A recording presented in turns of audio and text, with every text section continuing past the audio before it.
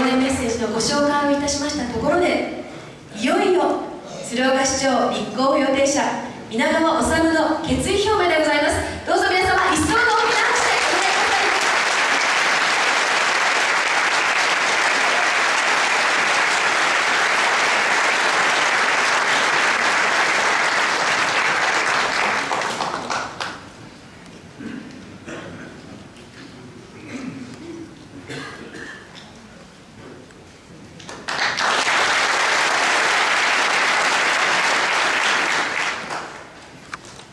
ただいまご紹介いただきました皆川治です今日も篠原隆元農林水産副大臣また船山康江参議院と鶴岡市内凱旋行動を行ってまいりました4月の8日鶴岡市長選挙へ立候補表明以降市内各地で対話集会をしまたこの広い鶴岡市一軒一軒ご挨拶に伺いながら市民の皆様と対話を続けてまいりました。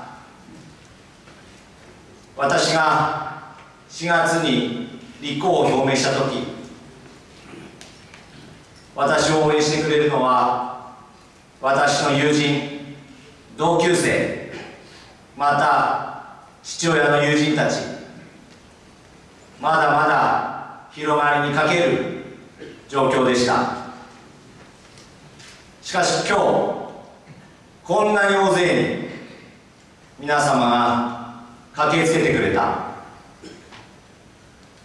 農家の皆さんはだだ茶豆一番最後の大浦の収穫がまだ残ってます。そういう中で作業をやめて今日私のために駆けつけてくれた。本当に感謝の思いでいっぱいです。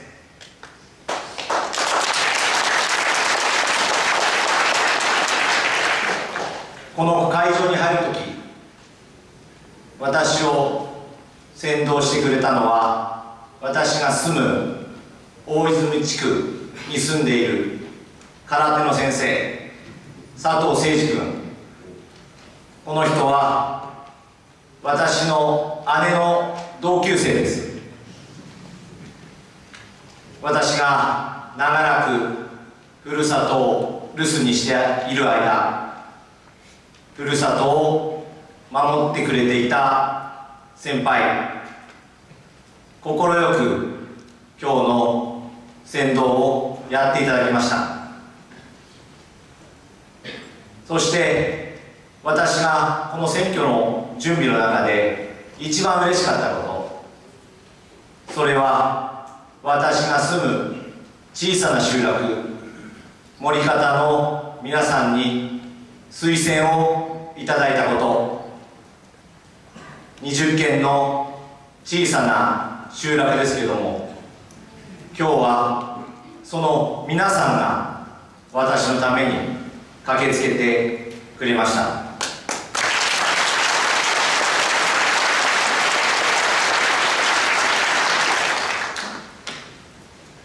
小学生の時私は森方から大泉小学校 2.4km の道のりを毎日歩いて通いました。冬の日は地吹雪がすごくてその地吹雪を避けながらそれでも毎日通い時々森方の人や知ってる人がその道を車で通った時乗せてくれる。そういう温かい環境の中で私は子供時代を過ごしてきました。ふるさとに帰って仕事がしたい。農林水産省という大きな舞台をいただいた後その舞台の大きさに満足をしながらもしかしずっと地吹雪の中歩いたふるさとのことが忘れられずにおりました。東日本大震災を経て私は地域のことこれから地方を元気にしていくためにはずっと霞が関にいるだけではダメだと。そのことを改めて強く感じました。篠原さんに言われたから辞めたわけではありません。今日は石巻から妻の母も駆けつけて来てくれています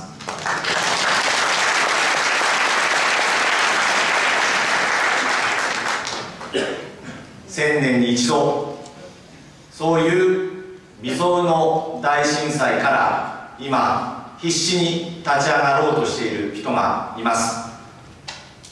この鶴岡船山先生がおっしゃっておりましたけれども非常に恵まれた地域です。まだまだ足りない点はある。交通網が弱い。いろんな課題はあります。しかし私はこの生まれ育ったふるさと東京の方がいいとは思いませんでした。シカゴにも行きました。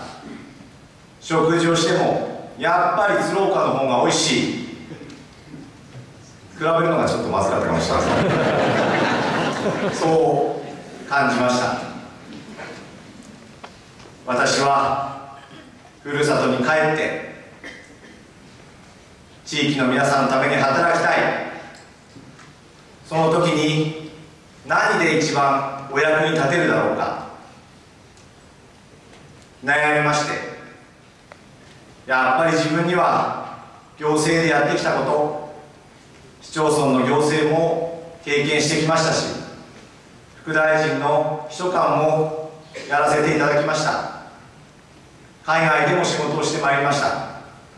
この経験をぜひ若いうちに把握させていただきたい。こう思い鶴岡市長選挙思い切って挑戦をする決意を固めました。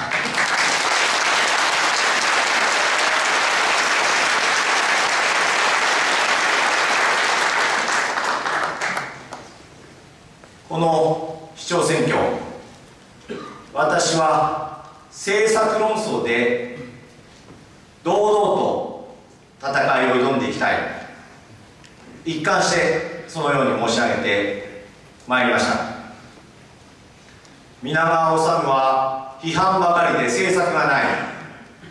全く見当違いです。霞が関で政策作りばかりやってまいりました。皆様のお手元にもパンフレットをお配りしておりますけれども5つの約束そして50の政策。非常に詳細なものをお示ししこの政策論争で市民の皆様に選んでいただく今までの地域のしがらみ特定の政党や特定のグループで選ぶそうした選挙から政策の内容。そしてそれが実行できる人なのかどうか。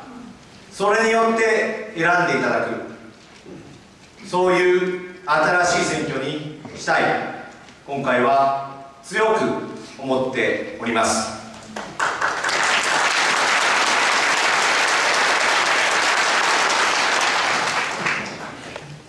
政策の内容。これは4月以降市民の皆様と対話の集会を重ねてまいりましてその中で頂戴したご意見これを反映して練り上げてまいりました。新しい文化会館の整備残念ながら現時点においては対話にかける姿勢の象徴となってしまいました。しかし鶴岡市政の課題もっとたくさんあります。一刻も早くこの市政の停滞混乱を招いた文化会館の問題に終止を打つ。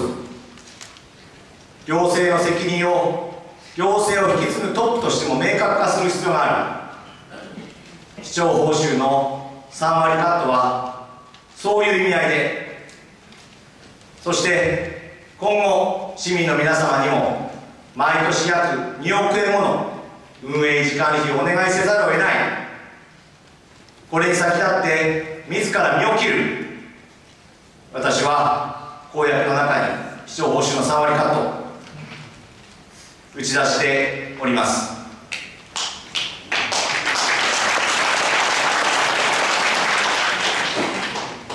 そして対話集会において市民の皆様から多くのご意見をいただいた中で人口減少の問題高齢者への支援もしっかりやってほしいけれども若い世代子育て世代の支援をしっかりやらないとダメだ。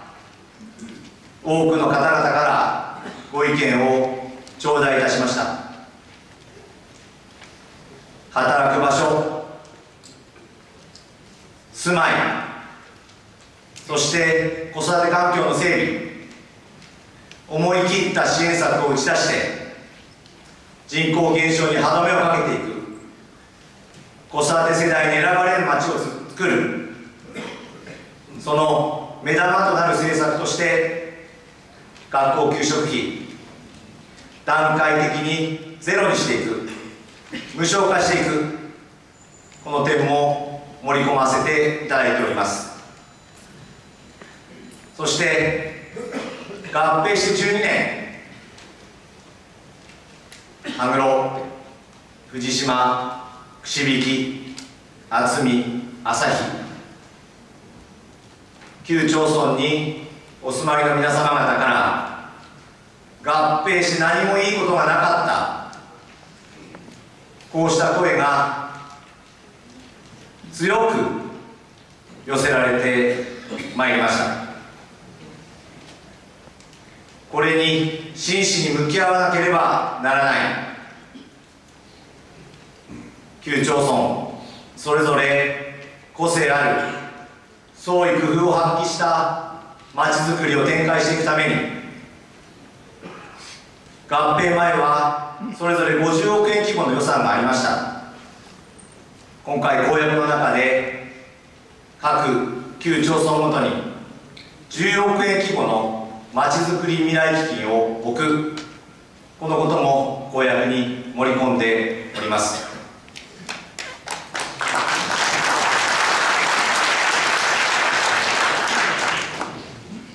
そして庄内病院のことについてもたくさんご意見を頂戴いたしました。日夜病院の運営患者への対応に奮闘されている医師の皆様職員の皆様看護師の皆様敬意を表しております。しかし市民の皆様方からもっと患者目線の対応を徹底してほしい。こうした要望が出されております。この庄内南部地域の基幹病院である庄内病院市民に信頼され愛される病院となるようにお医者さんが庄内病院で働きたい。そう思えるような環境を作っていく。この点も最優先の課題として対応してまいります。そして最後にこの地域経済を支えてきたいわば岩盤となる産業農林漁業や製造業商店街サービス業介護や福祉の現場で働く皆様保育の現場で働く皆様そうした働く皆様に寄り添った姿勢を展開していかなければなりません。新しい文化会館残念ながら地元の技術地元の素材の活用が減点され地域にお金が落ちない30年40年に一度の大事業に地元で学んだ建築建設業者が参画できない。こうした哲学にかける産業政策を改め今後市が発注する事務事業分割発注を徹底するなど徹底して地元の事業者を優先し地元企業ファースト。この姿勢で行政運営に当たってまいります。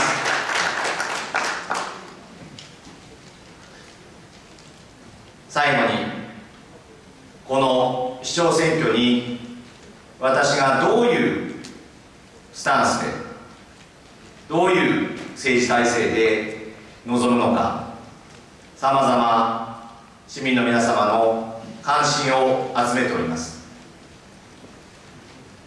立候補を表明した時から一貫して市民党の姿勢を目指す。このように申し上げてまいりました。私を応援する方々確かに今は野党の皆様が多いように思います。しかし私の政策私の考え方に賛同いただける方これは与党も野党も政党グループ一切関係がありません。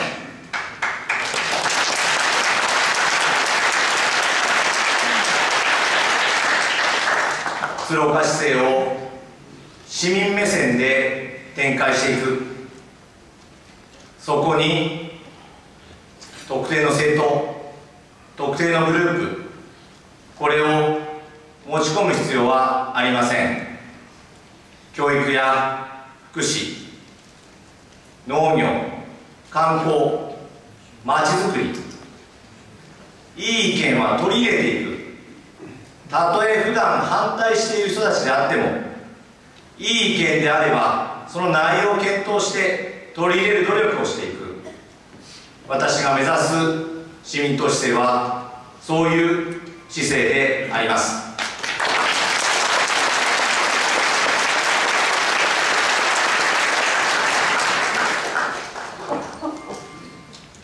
最初私がこの市長選挙を目指す中で応援してくれる方どれだけ広がっていくだろうか。不安もありました。多くの人にお願いをして思いもよらなかったような人が私の応援のために駆けつけてくれました。自分だけで何かができるわけではありません。行政は市民一人一人の夢を後押ししていく。市民の皆様と共同でこの鶴岡をさらに発展させていく。私は鶴岡市政。市民の皆様の知恵をお借りしそして私の若さ今一番動けるこの時期に一生懸命働かせていただき鶴岡市政を前進させていきたい。この会場にいらっしゃる皆様一人一人お力をお貸しいただきそしてさらにご支援の輪を広げていただき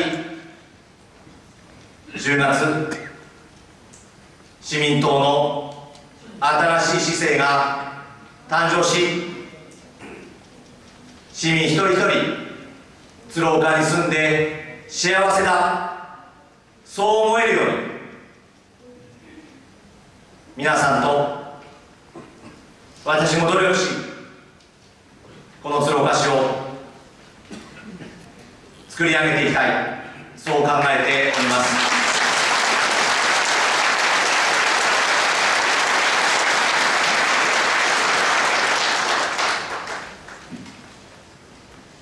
私は小さな頃この鶴岡の中で多くの人に支えられそして農林水産省で多くの友人先輩に恵まれそして鶴岡に U ターンし友人や先輩方ご支援いただきこの日を迎えることができました。あと1ヶ月死に物狂いで絶対に勝ち抜くその覚悟で頑張ってまいります。皆様本当に今日はありがとうございます。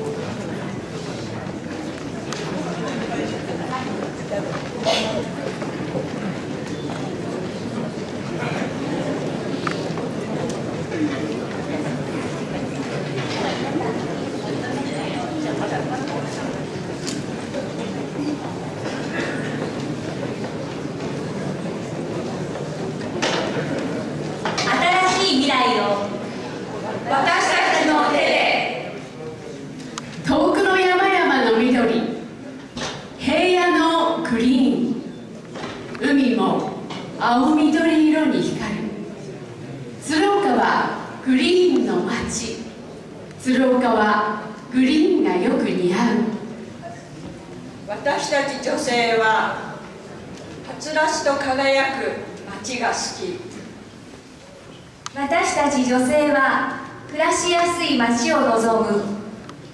私たち女性は未来を切り開く力となる。心の中に燃えるグリーンを抱いて鶴岡に生きる私たち。新しい街。鶴岡の新しい未来を私たちの手で作ろう。あなたの力をみんなの力としてあ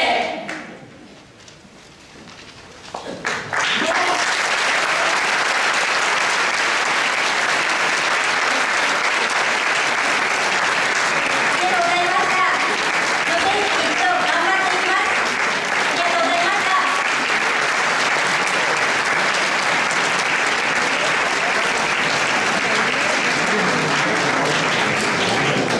そ代表大川優子様はじめ皆様によります女性の歌のご紹介でございましたそれではここで仙台ホール幹事長から皆様への御礼とそしてお願いでございます斉藤幹事長お願いします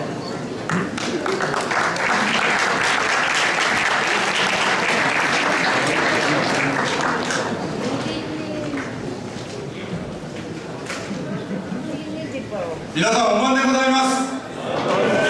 皆川、皆川治戦隊の幹事長をしております、斉藤と申します。よろしくお願いします。本日は、忙しい中ですね、大勢の1000名を超える皆さんから参加いただきまして、盛大に集会を開くことができました。本当にありがとうございます。7月の8日ですね、えー、皆川さんが立候補表明いたしまして、それからですね、えー、民事集会やあいろんなことをやりましてね、執行部体制を確立して、講演会、そういうものを確立して、今日に至っております。皆川治とですね、えー、40回以上、ミニ集会等を開いております。その中でね、言われることは、今の市長は何なんだよ。そういう声を多く聞いております。ですから今の市を変えてですね、我々は新しい若い市長の下で、鶴岡市を発展させていきたいと思います。どうか皆さん、稲川治を助けてください。勝たせてください。お願いします。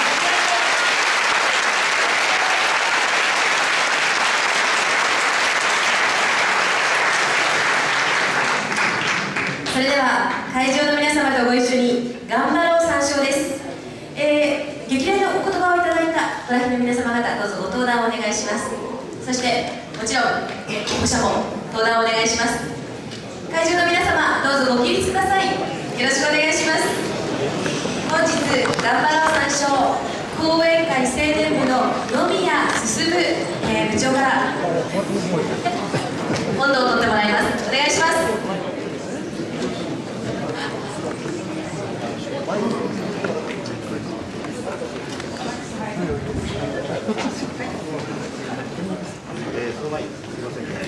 えー、オサムグリーンの T シャツの方々。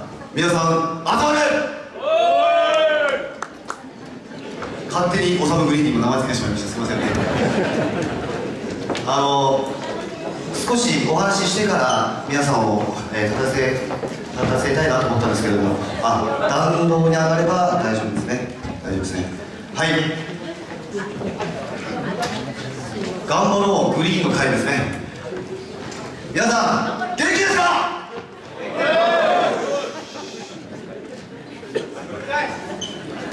皆さん元気ですか元気があればスローガンは変わるあいいですねリアクションありがとうございますえー、すいません皆さんあの長時間にあありがとうございます一つだけお願い申し上げますえー、今回は私初めてだと思うんですけども先輩方々の皆様が大前提です大前提で先輩方々の皆さんの力そして女性の力そしてあ新しい若い力この3つが一致団結した時必ず目標を達成します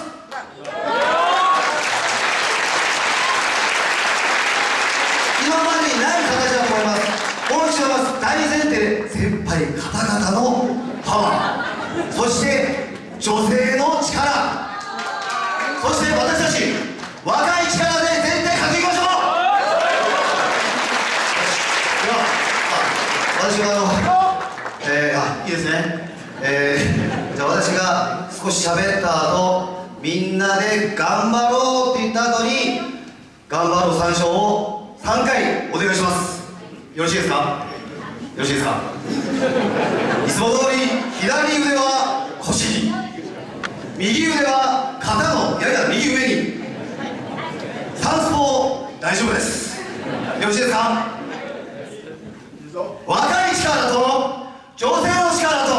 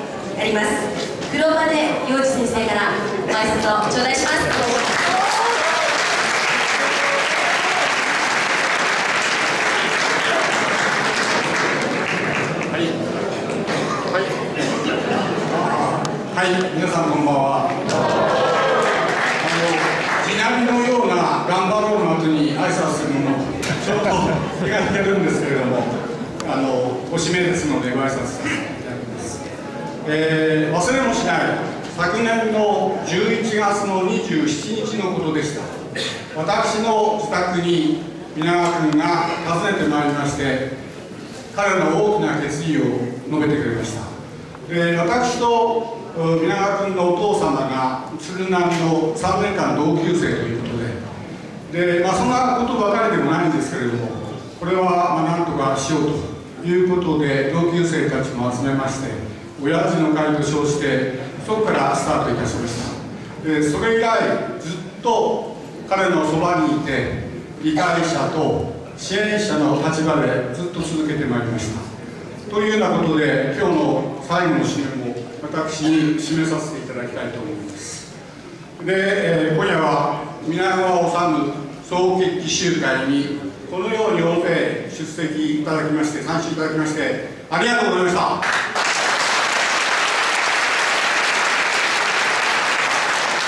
えー先ほどは来賓の方々に力強い講演のメッセージありがとうございました、えー、医学を問わない現職の県会議員さん市会議員さんえー自分の選挙活動もお忙しいでしょうに駆けつけていただきましてありがとうございました。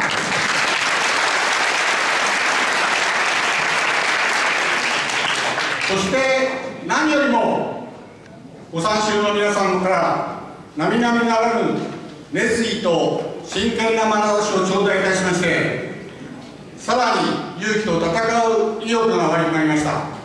どうもありがとうございました。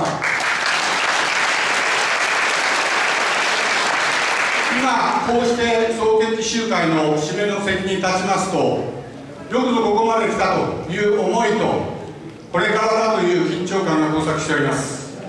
5月8日の正式な決意表明からおよそ5ヶ月そして決戦の日まで1ヶ月。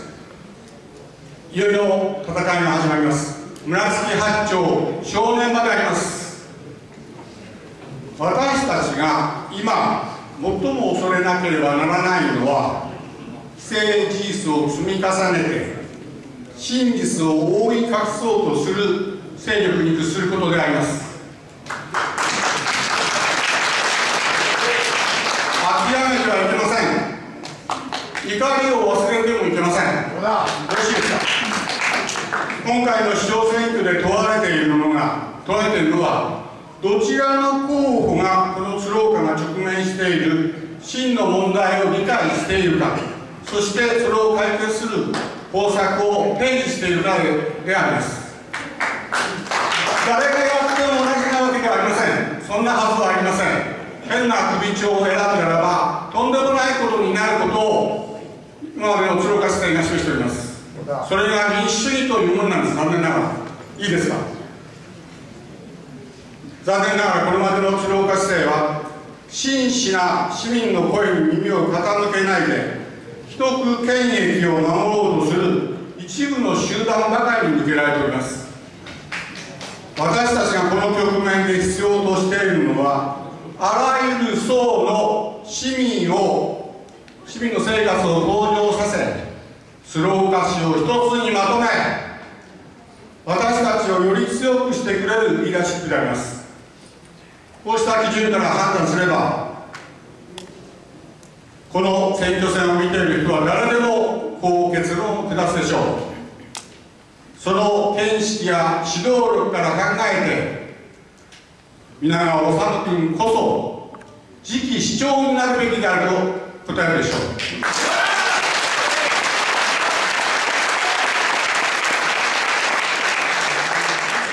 来る10月15日を鶴岡市が新たに生まれ変わる日にしましょう。この日を境に私たちは再び大きな希望を持ち大きな夢を見孫子松代まで考えたまちづくりをスタートすることができます。今日13日は大安吉日です。いいですか？ところが向こうの陣営が予定している決起集会は27日。いつも後出しをする彼らが先負けを選びました。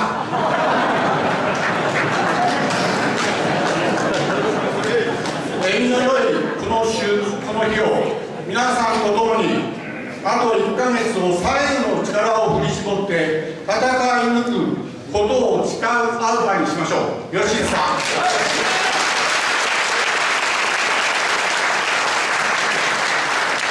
あの今参りますんで、はい、はい、参ります。